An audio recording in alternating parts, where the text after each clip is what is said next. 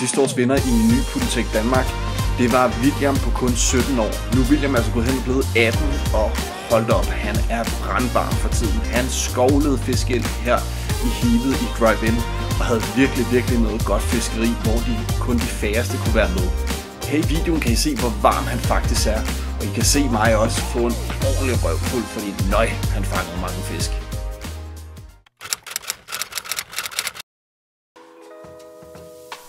Så er det blevet tid til endnu et heat i øh, ja, Nypotentek Danmarks øh, konkurrence. Det er 2024, og nu skal vi til at fiske op i Drive-In. Der er et par 40 mennesker heroppe. Der er en masse store fisk nu. Vi lige rendt rundt og kigget med brillerne og så videre. Så må det ikke, at det lykkes. Jeg ved det sgu ikke.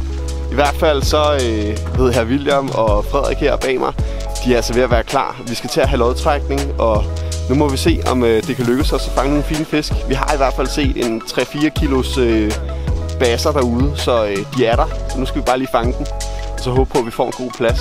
Så nu er det i hvert fald lodtrækning. Sige godmorgen og velkommen. Dejligt at se så mange alligevel. Vi er 41 i dag, så det er de tre største fisk, der går videre til finalen. Der er indvejning herop hos mig. Og man kan komme løbende eller gående, eller hvis man vil vente til allersidst. Det bestemmer man helt selv. Og det er det nummer, I også har til lodtrækningen, I bare siger til mig. Og så bliver fisken skrevet ind. Øh, nu er der så nogle IPA-bobler og alt sådan, der er blevet så moderne. Der skal den ene krog af. Der er kun én krog per arm på stangen. Vi er først kl. 7, vi bytter i gang. Nummer 25. Nummer 11. Løb! Løb for helvede! Løb! Løb! Nummer 10. Vi var sgu heldige, min ven. Ja. Vi fik en rigtig god plads forhåbentlig. Det håber vi sgu. Prøv her, mens du har været væk, jeg har set fem store fisk. Det bliver spændende. Lige, lige en halv meter til en meter nede. Bare gå og luske. Vi er klar. Det griller. Skal vi lige fange den først, men øh, ui. Ja, det, det tegner godt da. Vi har, øh, vi har fået en plads her aller nederst øh, bag til, oppe øh, bag ved Drive-In. Og det fede er, at øh, man, kan ikke, øh, man kan ikke fiske ude på den ene fløj for os. Det vil sige, at vi kan faktisk, øh, vi, vi kan faktisk have en helt lang side her for os selv, hvor fiskene de tit og ofte står op ad grenene og sådan noget herover. Og det kan være super godt. Så vi håber virkelig på, at det her det er bare spot død. Nå. Når dybet går, så er det jo altid spændende, om man hurtigt får en fisk i første kast. Men her er det faktisk ikke mig, der er skarp.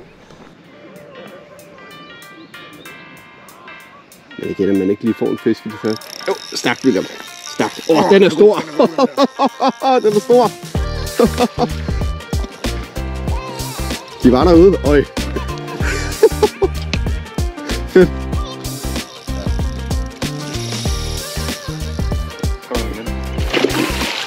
Uff, godt William. Øj. Det er i hvert fald en fire, ikke? Ja, stærkt. Det skulle vise sig, at William han havde valgt en helt rigtig farvepræsten i sort og hvid. Den ville de bare rigtig, rigtig gerne have.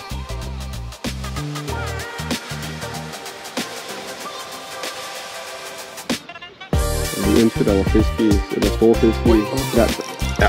Ej, var du en bandit? Jeg skal have den hvide på. Så sagde den, William. Samme størrelse? Okay.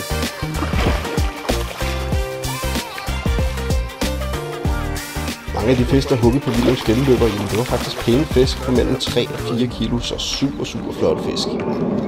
Åh! Oh! Der kom lidt fisk. Så lige hurtigt op. Ja, ja. Der var lige en fisk der også.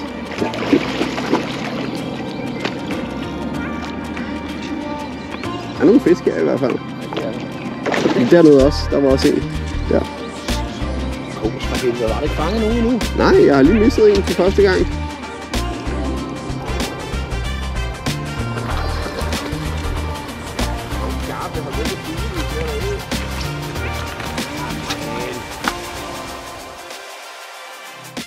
Den her morgen var der super godt solskin, og det er jo godt, når man skal gå og spotfiske. Jeg valgte at lave strategien om og skifte til bombarder og fidusen i sort og hvid. Som oftest kan det være et godt trick, og så gå ned i avnstørrelse, altså vælge noget i samme farve, som man har haft godt fiskeri på, bare i en mindre størrelse. Hold da. Han tog den meget langsomt og forsigtigt, var. Kæft, den tog den langsomt. Så lykkedes det endelig at ja, få et tilbud her på fidusen. Jeg har luret lidt William sort-hvid, så nu gik jeg over på fidusen. Nu prøve at se, om det lykkes at få den op. Sluk fidusen.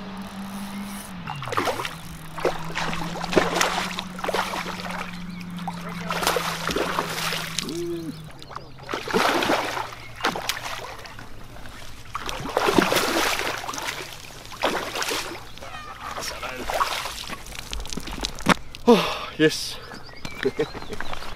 så fik jeg en på øh, min V6 stang her. Det var faktisk meget sjovt, men øhm, og lad os se. En god base her, og så på fidusen. Den er altså bare blevet spist. Helt nede i løgneren. Sort-hvid åbenbart. Ja. Eller sort maskenflue. Stor sort maskenflue, du. William har der skiftet der? over til sort powerbait, okay. og det kunne også være et super godt trick til de her fisk. Stormen, som jeg trækker det. Gjorde noget. Ja, prøv lige at øh, give den en lille tid. Jo, jo.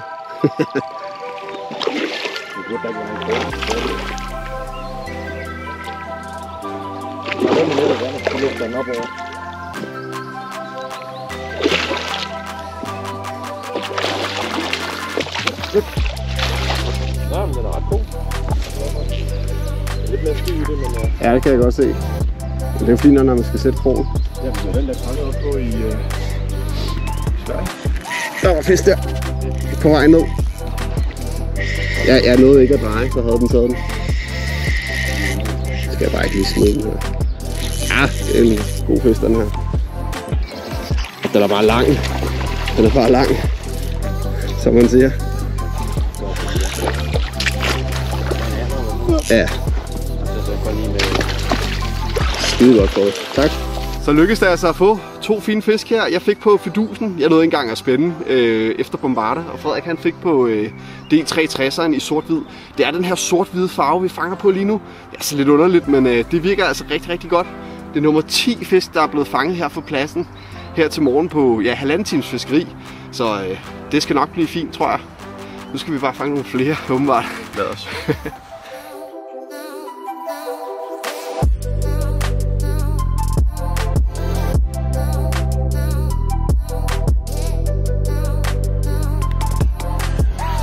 Ej, det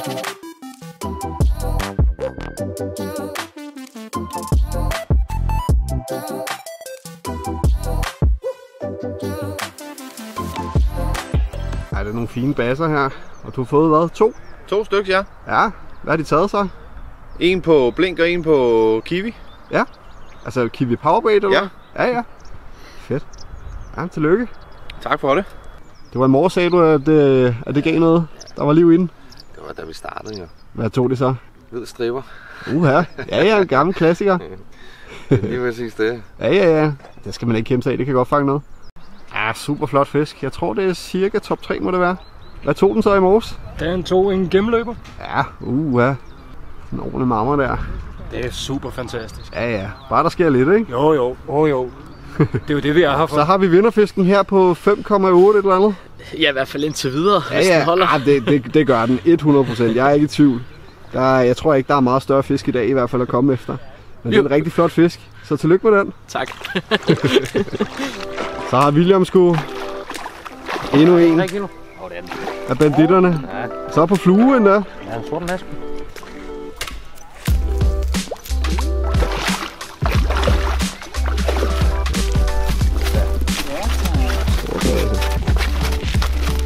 er større. Fint fisk, William. Det er sgu fint. Først kast med en uh, sort maske. Ja, ja, ja, ja. Lang. En lang satan, der kan noget. To mere, mand. Så har William skulle fiske igen på masken. Det var da utroligt. Ui.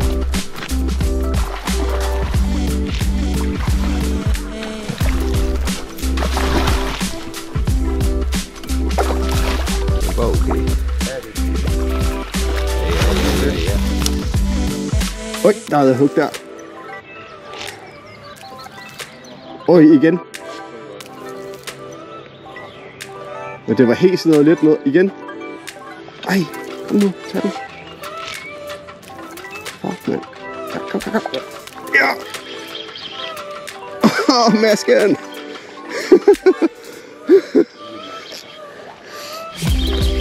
Hvad sker der her? Der kommer amatørerne og står og fanger fiskene. Så er der altså lige fisk her på masten, og vi tog bombarna-stangen. Fin, fin lille blank fisk. Den er så helt lidt mere blå. Lidt mere badagtig. Øj, det var lige før den kom fri der.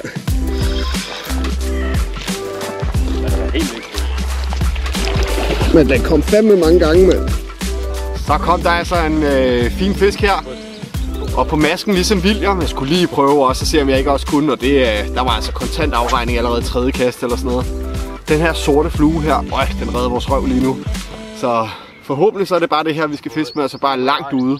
Det er der, vi får dem. Nå, den kæp, jeg, den kæp, jeg fisker med lige nu, det er vores øh, V2 Pudentex-stang med Bombarda. Den hedder 11,4 fod, og så de her 7-30 gram. Og så bare et stort bombarder på, og så ellers bare ud i suppen. Og det er 60 meter ude, at vi får fiskene lige nu. Så der, er den her, der kommer den her stang altså til, øh, til fulde. Er det bait eller masken? Det er masken. Jo, det er masken. Og jeg undrer mig lidt over, hvad masken betyder. På svensk betyder det orm. Ah, ja.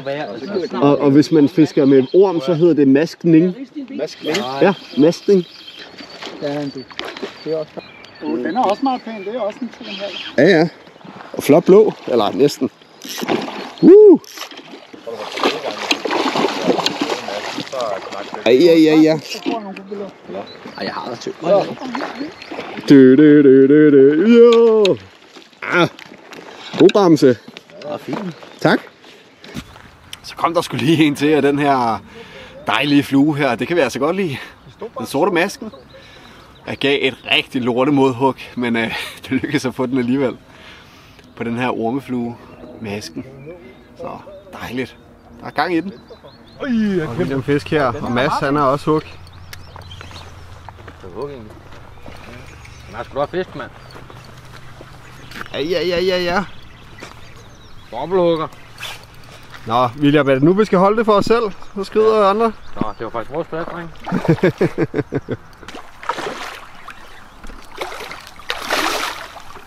Skal William lige bakke? Kom. En. Ja. Godt. Ej, det, det er sgu en lille en, du. Hvad sker der, mand? Hvad fanden sker der? Det er fisk. Ja, ja, ja, ja.